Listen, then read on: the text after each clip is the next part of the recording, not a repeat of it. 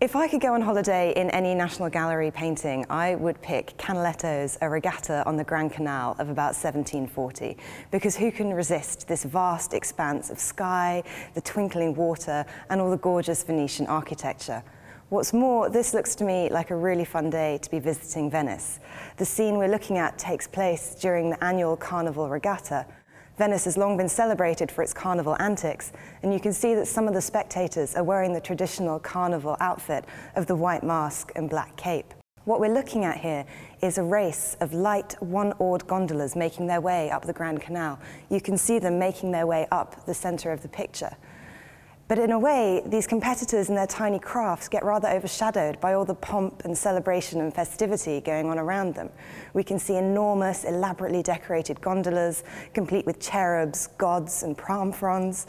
Every window seems to have a flag hanging from it and people peering out, desperate to see the race going on below. So to me, this seems like a great time to be visiting Venice, to be out on the water in a carnival costume, and if it all gets too much, you can just lie back and watch the fun from your own private gondola.